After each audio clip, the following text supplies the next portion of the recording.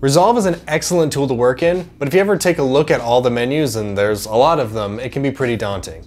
So if you're new to Resolve, I'm gonna point you to a couple of the settings that I change right away, and I'll show you what they do. So when you open Resolve, you're gonna see your list of projects. If you right click, doesn't really matter where, you can go down and you can check dynamic project switching. You can open one up, and what that allows you to do is to have multiple projects open at the same time and switch between them from either this window, or the drop-down window at the top, so in this case, I'll just open this one. Now if I go up here, I can actually switch between them from this little drop-down window at the top. It's a little cumbersome since you have to switch manually between each to a whole new set of windows, but on the flip side, it's cleaner than Premiere, which can kind of bury you in a lot of panels and bins when you have a lot of projects open. The next one is usually on by default, but in case it isn't, you should go up to Preferences, User, project save and load and make sure live save is checked on. What that does is that basically every time you make a change, Resolve will save your project. You can also set up regular backups here if you'd like, so even if it crashes, you'll barely lose any work.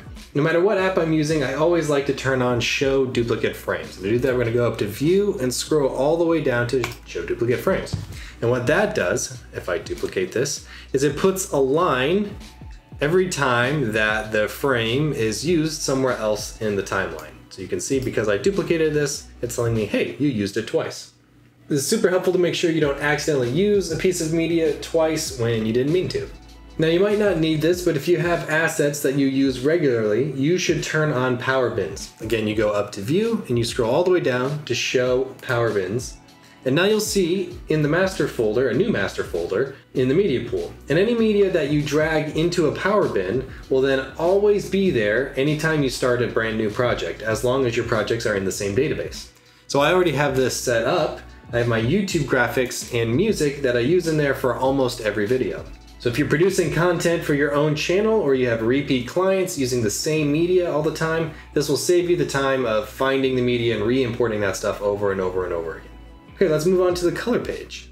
Let's go into our settings, general options. I'm gonna turn off use local version for new clips in timeline.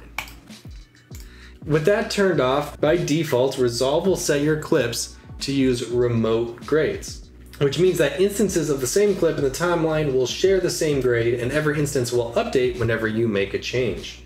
So this is indicated by the little red arrow icon in the corner of the clips. As you can see, this is the same clip. It means the grades are connected.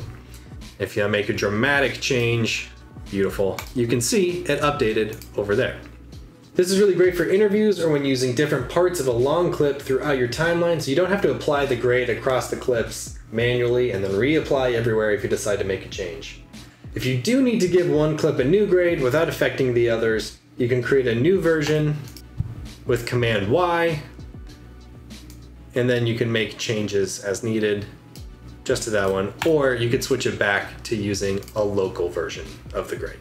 Another setting I like to change in those general options settings is Luminance Mixer defaults to zero.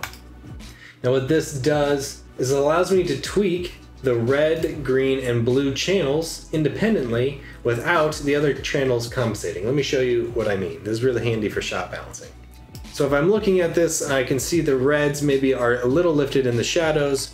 With Luminance Mixer down here, turned to zero, I can actually just move the red channel around on its own. Whereas if that's set to 100, if I move the red channel, you can see the green and blue channels are also moving in tandem with it.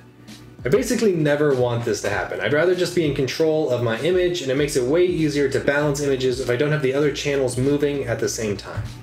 Okay, my last setting is on the export page.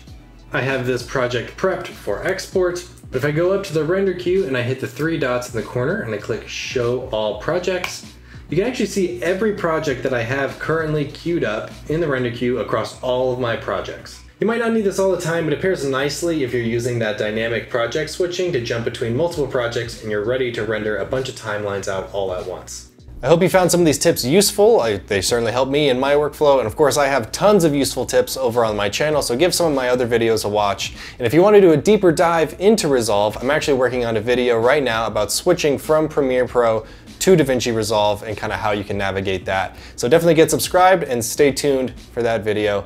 Thanks for watching, and I'll catch you in the next one.